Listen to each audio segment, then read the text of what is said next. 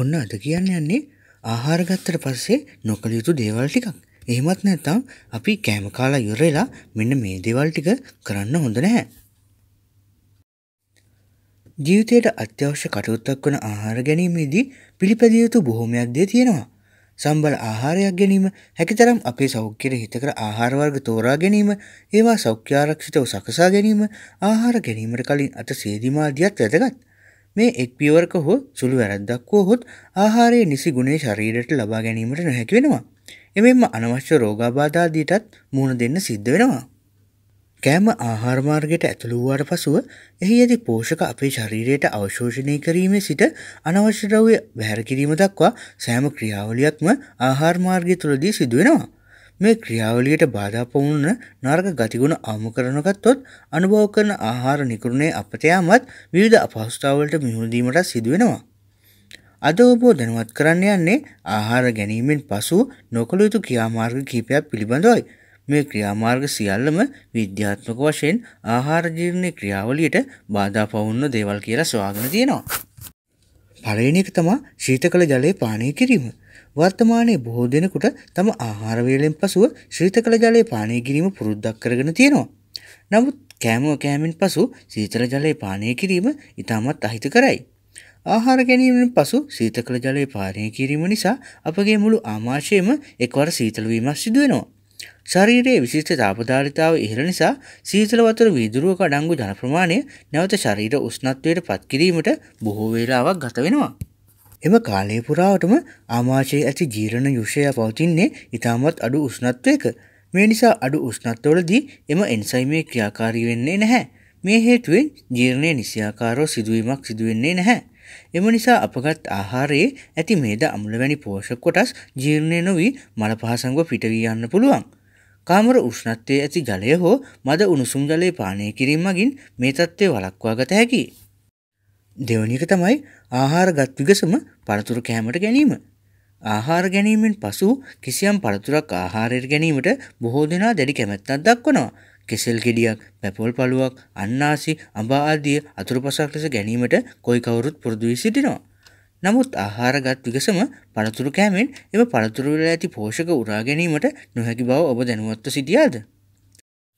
පළතුරු වර්ග බොහෝමයක ඇති පැන් රසයට හේතු වන්නේ ෆුක්ටෝස් යනුවෙන් හඳුන්වන ශාකමය සීනි වර්ගයේ දිරවීමට අඩු සාන්ද්‍රණයෙන් යුත් ජීර්ණ එන්සයිම වර්ග කෙටි කාලයේදී ක්‍රියා කරනු ලබයි. නමුත් ආහාර වේලකින් පසු එම ආහාර ජීර්ණයට වැඩි සාන්ද්‍රණයෙන් යුත් ජීරක එන්සයිම පැය කිහිපයක් තිස්සේ ජීර්ණ ක්‍රියාවලියට භාජනය වෙනවා. ආහාරගත් තිගසම පළතුරු කෑමේදී සිදුවන්නේ දැඩි සාන්ද්‍රණයෙන් යුත් ජීරක යුෂ නිසා පළතුරු වල ඇති සියලුම පෝෂක වියෝජනය වීමයි. මීට අමතරව වේගෙන් සීනි වර්ග වියෝජනය වීම නිසා හටගන්නා විවිධ වායු වර්ග ඉක්මනින්ම ආමාශය තුළ පිරීම සිදුවන නිසා බඩ පිරීම බඩ කොරවීම වැඩිපුර වාත පිට වැනි අමතර ගැටලුවලට උඹට මුහුණදීමට සිදුවෙනවා. එම නිසා ආහාරවේලකින් පැයකට පසුව පමණ පළතුරු කෑම ඔබේ ශරීරයට හිත කරයි. තුන්වෙනි එක තමයි ඉදිරියට බර වී වාඩි වී සිටීම. කාර්යාල රැකියාවකට යන බොහෝ දෙනෙක් උදේ සිට සවස් වන තෙක් වාඩි වී සිටීමට හුරු වෙලා තියෙනවා. එමෙන්ම ඔවුන් උදෑසන හා දහවල් කෑමෙන් පසුවද වාඩි වී සිටීමට හුරු වී සිටිනවා. නමුත් කෑම කෑමෙන් පසුව වාඩි වී සිටීම එතරම් හොඳ ගතියක් නෙවෙයි. කෑම කෑමෙන් පසුව ආමාශයේ එම ආහාර වර්ග පෙරළමින් කුඩා කොටස් වලට කැඩීමට දැඩි උත්සාහයක නිරත වෙනවා. නමුත් වාඩි වී සිටින ඉරියව්වලදී මේ ක්‍රියාවලිය සිදු කිරීමට අපහසු වෙනවා. හතරවෙනි එක තමයි තේ පානය කිරීම. ආහාර ගැනීමෙන් පසුව හොඳට කාට දැමූ තේකෝප්පයක් රස බැලීම බොහෝ දෙනුක්ගේ පුරුද්දක් වෙලා තියෙනවා. ආහාර ගැනීමෙන් පසුව ඔබ ගන්නා තේපානයෙන් ඔබට බොහෝ ආශ්වාදයක් ලැබුණත් මේ ඔබේ ශරීරයට බලපතර හානි කිරීමට හේතුවක් වෙනවා. තේ යනු අම්ලගතිය වැඩි පානවර්ගයක් නිසා ආහාර ජීර්ණ ක්‍රියාවලියට රිජුවම අයහපත් බැලපාමක් මෙමගින් ඇති කරනවා.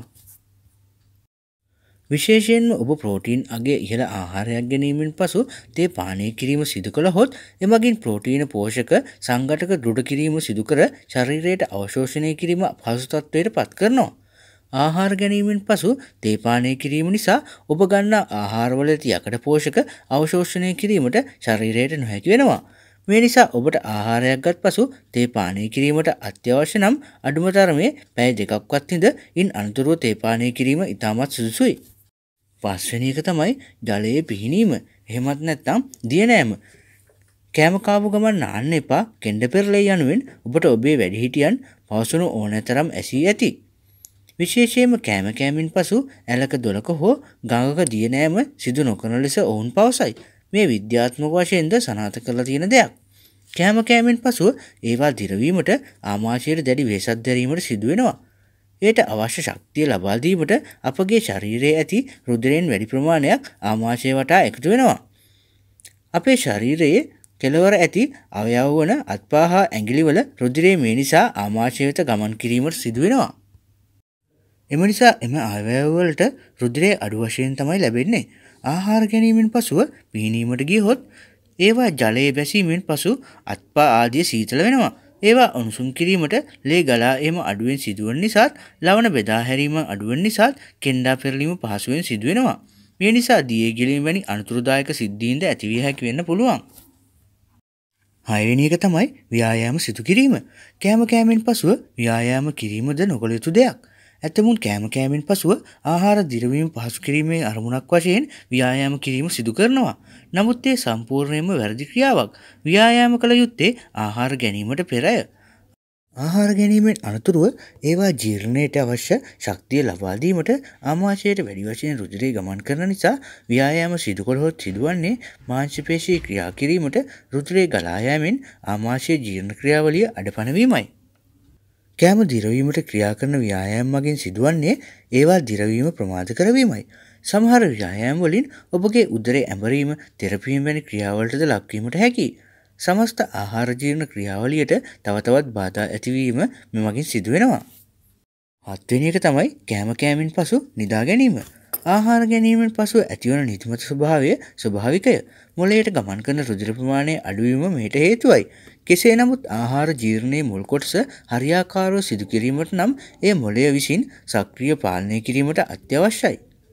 කෑම ගැනීමෙන් පසුව නින්දර ගියහොත් මොලයේ මේ ක්‍රියාකාරීත්වය අඩුවීම නිසා ආමාශයේ ජීර්ණ ක්‍රියාවලිය සිදුවන්නේ රටාවකට පමණි.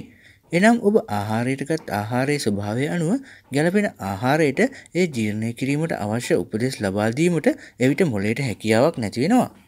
එම නිසා ජීර්ණය කිරීමට අපහසු මස්මාලු වැනි දේවල් අර්ධසල් ජීර්ණය වී ඉතිරි කොටස් වලින් ආම්ලික වායු පිටකිරීම සිදු කරනවා. බඩේ දැවිල්ල ලෙසින් හඳුන්වන්නේ මෙවැනි තත්ත්වයන්. මස්මාලු කෑමෙන් පසුව ඉක්මනින් නින්දර ගිය විට බඩේ දැවිල්ල ඇතිවීම අනිවාර්යයි.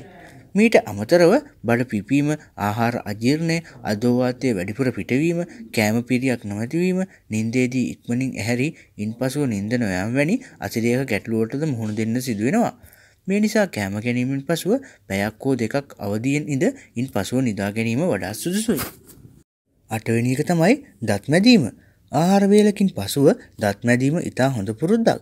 නමුත් ආහාර ගැනීමෙන් පසුව ඉක්මනින්ම දත් මැදීම නිසා ඔක්කාරයේ වමනය ඇතිවීම හැකි බව ඔබ අප කවුරුත් ගන්නා කරුණක්. කෑම ගැනීමෙන් පසුව අවම වශයෙන් පැයි භාගයක්වත් නොහිද දත් මැදීමට යාමේදී දත්වලට අහිතකර බව ඔබ දන්නවාද. කෑම ගන්නා විට එම කෑම්වල ඇති ගලූකෝස් සීනිසා පිෂ්ට කොටස් කේටය ගැටනු සැනින් යම් තරමකට ජීරණය වී ආම්ලික තත්ත්වයක් ඇතිවෙනවා.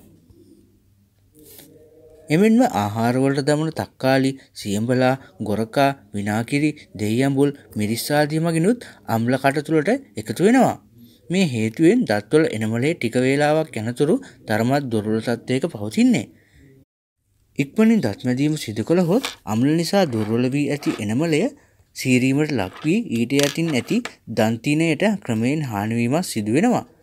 දන්තිය ස්නායුවලට සම්බන්ධ නිසා ඉන් පසුව උණුසුම් හා සීතල ආහාර ගන්නා විට හිරිවැටීමට ලක්වෙනවා. ආහාරගත් සැනින් ෂණිකව දත්මදින පුද්ගලයන්ගේ එනමලේ ස්තීර සිදුරු හටගෙන දත් දිරායෑමට පුළුවන්. මේ නිසා කෑම ගැනීමෙන් පැයි භාගයක් පවන පසුව දත්මැදීමට පුරුදීම වඩාත් උචිතයි.